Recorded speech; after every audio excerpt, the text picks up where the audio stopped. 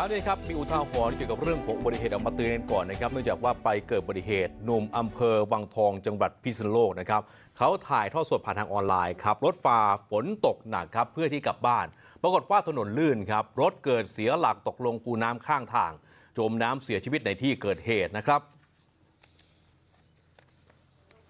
คลิปวิดีโอการถ่ายทอดทางออนไลน์จาก Facebook นะฮะของนายพงเทพจอมสุขอายุ 37 ปี กลายเป็นหลักฐานที่แสดงถึงสาเหตุของการเกิดอุบัติเหตุ ฝนตกถนนลื่น ซึ่งเป็นอุทาหรณ์ให้แก่ผู้ที่ใช้รถใช้ถนนในช่วงนี้นะครับ โดยที่นายพงเทพนะครับได้เริ่มถ่ายทอดสด บันทึกภาพเหตุการณ์ขณะที่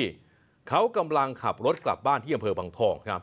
ซึ่งก็เป็นช่วงเวลาที่ฝนนี่กำลังเริ่มตกแล้วก็ตกหนักมากขึ้นเรื่อยๆแต่ว่าหลังจากที่ได้มีการถ่ายทอดสดเพียงแค่ 6 นาทีเนี่ยครับ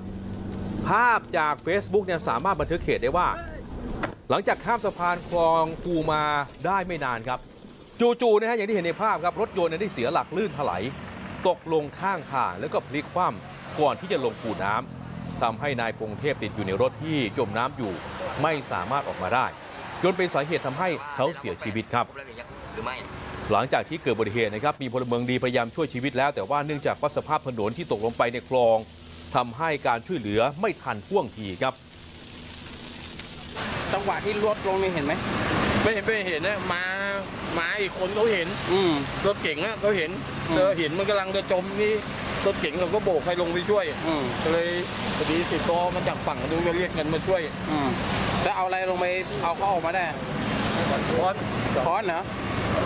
ทุทุบบทุทุบบกระจกทุบกระจกอืมตอนเข้าไปในจังหวะนั้นเนี่ยเขายังมีสติไหมไม่มีแล้ว หมดละอืมแต่เราก็เต็มที่แล้วเนาะเราก็เต็มที่แล้วอะอืมอืมช่วยเต็มที่แล้วก็แค่บอกว่าฝนตกหนักมากหลังกลับบ้านบ้านอยู่ที่ไหนวะอยู่วังทองปินทองครับ โดนดินทองใช่ไหมแล้วเขามาจากไหนตกไหมไม่รู้เหมือนกันครับ ตอนแรกก็อยู่ที่บ้านด้วยกันนี่แหละเขาบอกว่าเขาออกมาเขาบอกว่าเดี๋ยวพี่มาแป๊บนึง แล้วก็ไม่รู้เลยว่าเขาไปไหน พนักงานสอบสวนสถานีตำรวจภูธรบางทองนะครับก็ได้เดินทางมาตรวจสอบที่เกิดเหตุนะครับ พบว่ารถกระบะทะเบียนพอถุงรอจุฬา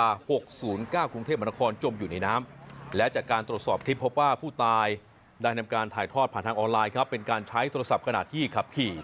ประกอบกับมีฝนตกหนักครับแล้วก็ขับรถเร็วครับเป็นสาเหตุทำให้เกิดอุบัติเหตุ รถเสียหลักพลิกคว่ำตกคูน้ำข้างทาง จนเสียชีวิต จึงได้มีการเตือนให้กับผู้ใช้รถใช้ถนนนะครับว่า ไม่ควรหยิบโทรศัพท์มาใช้ขณะที่ขับขี่ หรือว่าทำการถ่ายทอดสดผ่านทางออนไลน์ เพราะว่าจะทำให้ไม่มีสมาธิในการขับขี่ แล้วก็ไม่ควรที่จะใช้ความเร็วสูง ขณะที่มีฝนตกหนักเพราะว่าถนนลื่นเกิดอุบัติเหตุได้ง่ายนะครับ